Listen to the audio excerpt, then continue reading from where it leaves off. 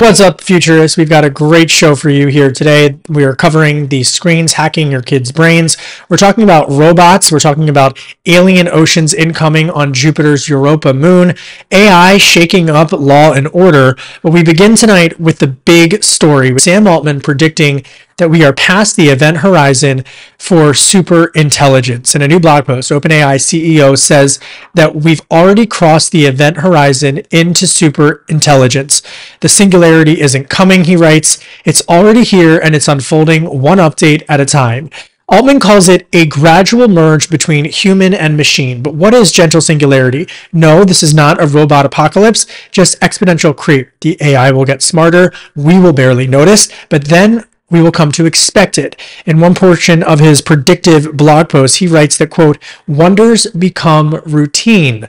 He's got some big predictions. I want to dive into some of them right now in he in this he writes that robots are not yet walking the streets nor are most of us talking to ai all day. People still die of disease and we still can't easily go to space. And there is a lot about the universe we don't understand. And yet we have recently built systems that are smarter than people in many ways and are able to significantly amplify the output of people using them.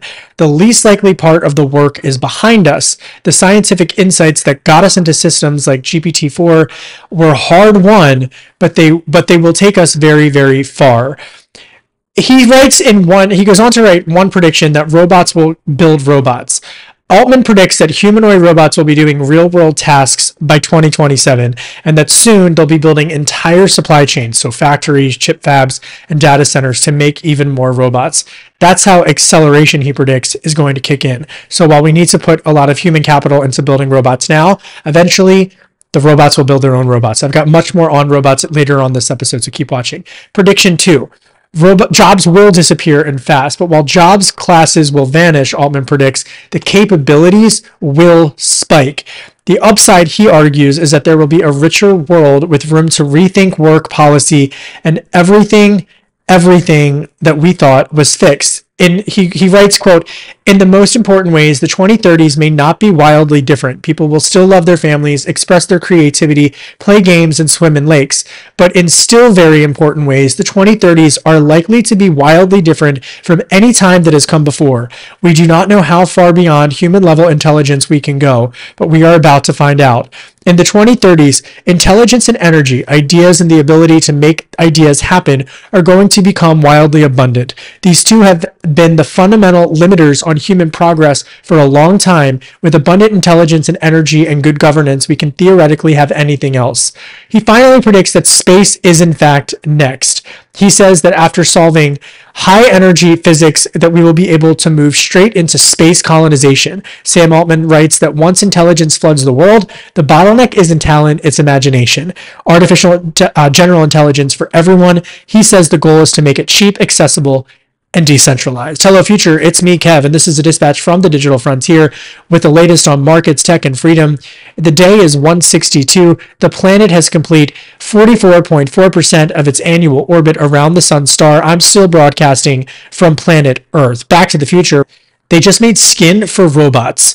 Robots are growing skin to feel. What's next? These scientists just gave the robots a wild upgrade. Stretchy, jello-like electronic skin that senses heat, pain, and even a light tap.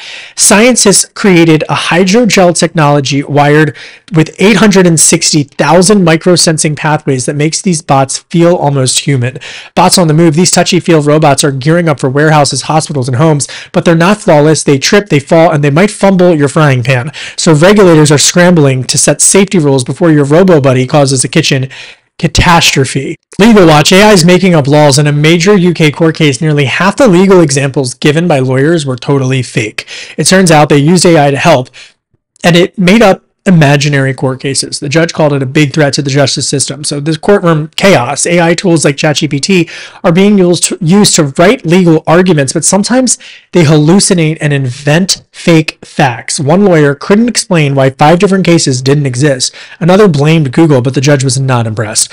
This is the future of law we're talking about. AI is fast, but the rules for using it are still way, way behind. Experts warn that fake facts in court could lead to fines, criminal charges, and even jail. But if we can't trust the legal system to get it right, what does this have to say about the rest of society? In another legal case, AI giving voice to the dead. In what may be a legal first, an Arizona family used artificial intelligence to create a video of a murder victim delivering his own impact statement at a sentencing.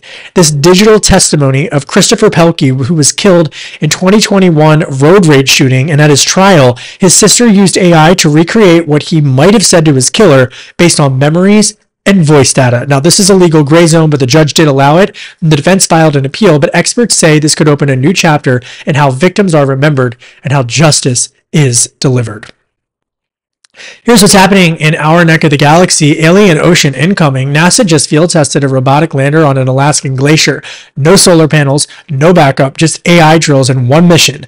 Crack open the ice on Jupiter's moon Europa and test it in Alaska. So the subsurface ocean and hunt for alien life. Something's melting in Tara Regio. If you've never heard that, I'm going to tell you about it. It's a part of the moon on Europa. The James Webb Telescope picked up heat signatures in Europa's chaos terrain in the Tara Regio, where the surface ice is crystallizing fast, even under cosmic radiation. What do I mean by that? Warm pockets, movement beneath the crust, and maybe salt water leaking from an underground ocean 20 miles below. So the Webb telescope's spectral data is now backed by lab tests from the Southwest Research Institute. This moon's ice is active and it's really weird, and scientists are confused. So the robot's drilling in Alaska with no safety net. NASA's prototype lander just survived a brutal trial in Alaska, and it's fully autonomous, battery powered, and designed to scoop samples from icy alien landscapes. But the real test comes in the 2030s when the Europa Clipper orbits above Europa and the lander follows with one job drill down and answer the biggest question in science Are we alone? Are there microbes on Europa orbiting Jupiter beyond Mars? So, why should you care about Jupiter's moon matter? Well, if Earth ever goes cold and Mars turns out to be a bust, likely we're going to go to Jupiter's moons. Europa and Ganymede are locked in Jupiter's gravity well, but they may harbor massive oceans protected by thick ice, which shields colonists from radiation. The bottom line um, there's Saturn's moons, which is another contender, and you've also got Jupiter's moons, but these moons may have liquid water, complex chemistry, and geothermal energy. Three essentials for life. So they're cold, yes, but bundle up because colder means preserved. It also means survivable. And if Mars is humanity's backup drive, Jupiter's moons might be the deep archive, and we just built the robot to go drilling. One more thing screens are hacking your kid's brain. There's a massive new study that says screen time doesn't just mess with kids' emotions, it rewires them. Anxiety, aggression, and low self worth go up, and the worse they feel, the more they scroll, the logarithm wins. The feedback loop of doom. Researchers tracked 292,000 kids under 10 and found a vicious cycle screens making emotions worse, bad emotions driving up more screen use. Gaming was the most dangerous. Girls spiral into anxiety, boys disappear into games. Childhood is becoming a UX problem. Future kids, future problems. This is the closest we come to proof that screens are reshaping emotional development. One expert called it as close to casual evidence as we can get.